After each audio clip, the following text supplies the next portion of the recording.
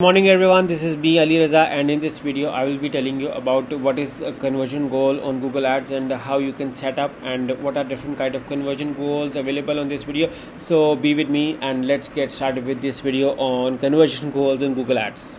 So basically if uh, in other words it, it is actually saying that a conversion goal is actually a short goal which has to be completed on a website. It is actually a tool uh, to determine your marketing strategies how well it's performing and uh, because most of the actions are being done on a website and you are looking forward for an action by your visitor on a website to make it a successful con- uh, conversion. So which is why it is very important. In case if you are trying to understand is google ads working well for you or not you need to have a conversion goal on your website to determine if it's really working or well or not there are different types of conversion goals available such as buying on a website filling a form uh, buying or downloading a book. So there are certain types. So in this uh, video i will be doing a step by step on how you can create your own conversion goal and which type of conversion goal uh, can be created through google ads. So stay with me on this. So now let's say if I open Google Chrome uh, and in here I open uh, Google Ads account let's say if I log into account okay this is a manager account I know.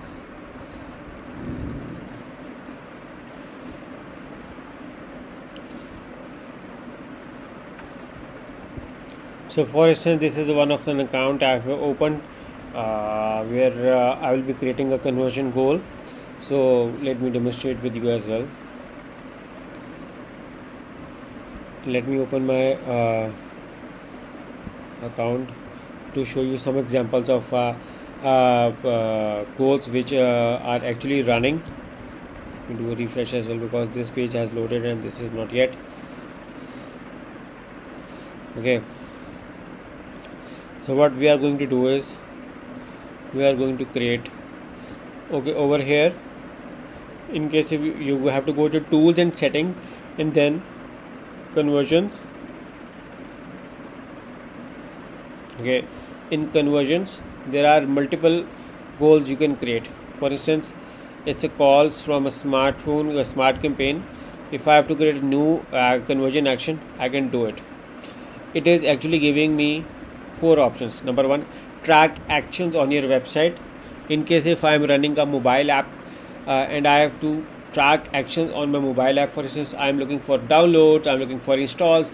Uh, not uh, i do not want people only to download but rather install or i want people to do specific action like buying. I can do that. I'm looking for a calls uh, from my ads.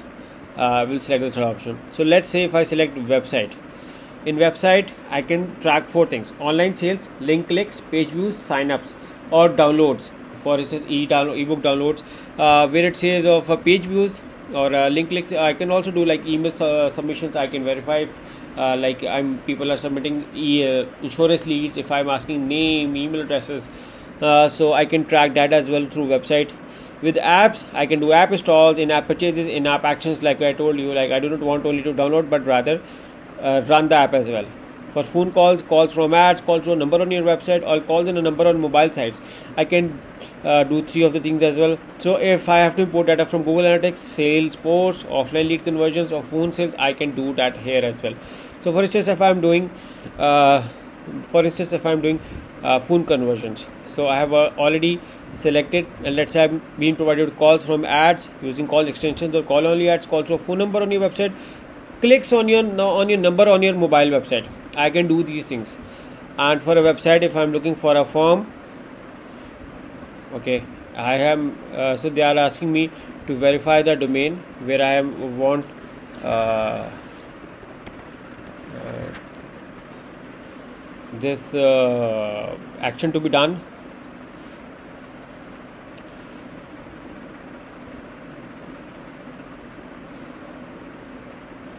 So this is a website where I want it to be done.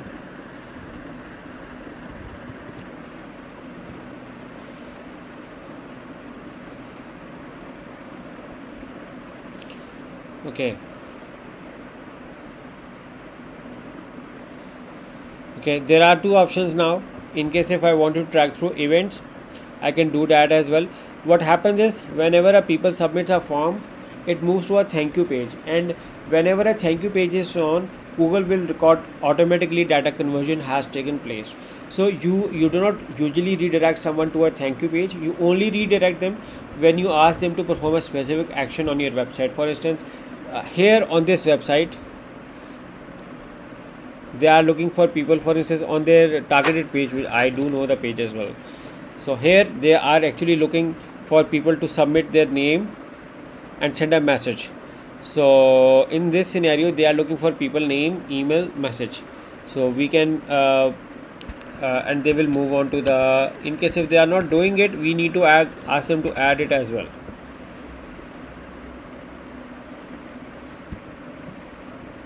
Okay. So they are not doing it. So we do not have a uh, thank you page ready yet. So we are going to create a goal manually and ask them to create a thank you page where they can land it. When i'm going to select that i will be providing with the selected category purchases add to cart begin checkout subscribe contact submit lead form. So it's a basically a submit lead form. We can also do appointment sign up request quote. It's either a uh, request quote or either a uh, submit lead form. We can go with the request quote. Okay in case if there is a uh, different value for instance if you are selling multiple products if you are running an e-commerce store and every product price is different so you need to have a different value for each conversion but right now it is not a conversion uh, it is not a monetary conversion uh, general conversion so we will use the same value for each conversion. Or don't uh, actually rather don't use a value because this is a form. How many uh, invoices to count per click? Every you are also been given the option of click through rate or I will select the maximum of 90 days here.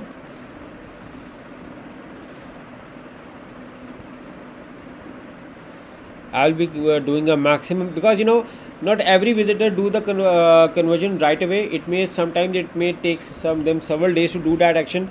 So it's all up to the personal preference and since people are doing multiple advertising messages like they are also advertising on google ads they are also advertising on facebook ads so which is why the, these things can be uh, different. Like select the maximum time of a person views your ad that you want to count view through conversion. So i will again select this to the maximum available of 30 days. And now i'm going to say done. So this is my done and now save and continue okay. So now they are giving me two options html or amp which page i'm using. For instance if i'm using html it is a request code available. Status unverified because the code is not yet uh, being uh, shown on the website